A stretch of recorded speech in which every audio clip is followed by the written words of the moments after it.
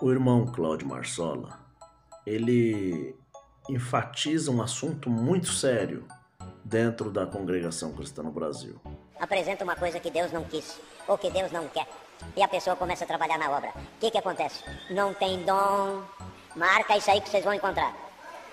Tá na obra. Não tem dom, não tem virtude, não é humilde. E eu concordo com ele nesse aspecto.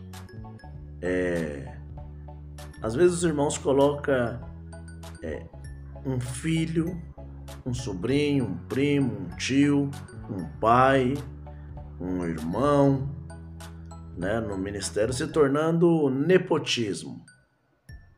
Mas sofre o irmão que é colocado, porque não tem dom nenhum, e sofre também a irmandade. Quantos irmãos que estão cheios dos dons de Deus estão sentados lá embaixo e só porque não faz parte dessa panela, dessa elite, etc e tal, não é levantado para o ministério. O irmão Cláudio Marsola falou exatamente certo. Virtude, não é humilde, não tem o que fazer, não tem o que pregar, culto que ele atende é vazio.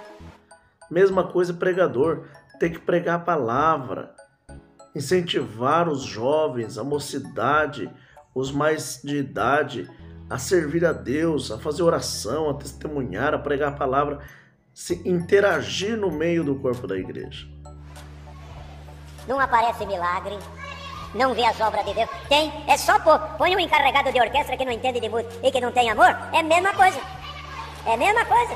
Sobre a música, pega um irmão lá, só porque às vezes é amigo, é parente, coloca como encarregado. Às vezes tem um irmão que estudou, tem até conservatório, tem o dom da música, uma pessoa muito inteligente, intelectual, sabe tudo sobre a música, fica lá rejeitado, ninguém põe ele para nada. Solta esse irmão, solta ele para fazer músico, solta ele para colocar uma orquestra para tocar, solta ele que você vai ver. A orquestra vai dobrar na sua região tem que ter o dom de Deus. Se não tiver o dom de Deus, a obra não anda, não cresce, não solta a obra. É a mesma coisa. Põe um diácono, é a mesma coisa. Não tem amor, não tem caridade. Por quê? Foi o dedo do homem. Nessa obra, quem não nasce por Deus, sofre. Nesse ponto aqui, o irmão Cláudio Marcelo fala do diácono, que não tem a caridade. Na verdade, caridade todos nós temos que ter. Isso daí vem de Deus. E a caridade é o dom da salvação. É porque a caridade ela não suspeita mal, não é leviana, não é invejosa. A caridade tudo crê, tudo suporta. E são poucos os que têm a caridade. E se eu desse o corpo para ser queimado e não tivesse a caridade, o amor de nada me adiantaria.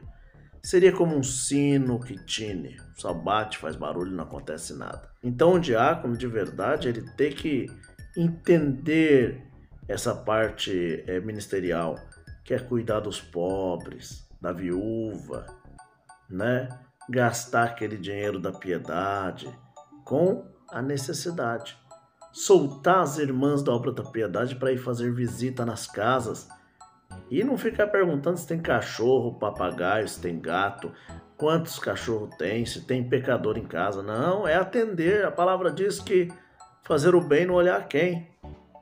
Outro ponto da palavra diz que é, se você está vendo o seu irmão numa situação precária, né? Você sabe, pode fazer o bem, não faz, comete pecados. Então tem que atender sim. Tem mais, o dinheiro não é do ministério, não está sendo atendido com o dinheiro é, do seu bolso, está atendendo com o dinheiro da Irmandade. O dinheiro vem da Irmandade e tem que ser gasto com a Irmandade. Exatamente, irmão Cláudio Marsola. É assim que tem que ensinar.